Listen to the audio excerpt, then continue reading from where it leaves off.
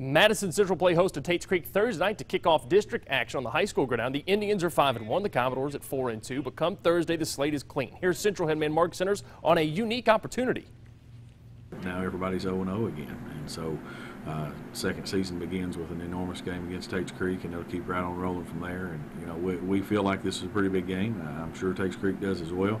Uh, they have a very, very high-powered offense. Their defense is playing outstanding. They, they, they're all phases of the game. They seem to be doing well. Coach Sims is doing a fantastic job up there, and you know a lot of respect for him and what he's doing at Tates Creek.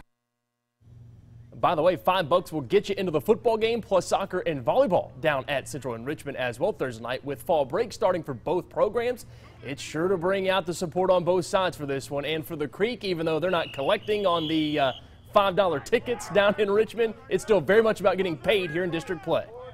I understand this is the start of the second half of the season. This is these what we call the money games.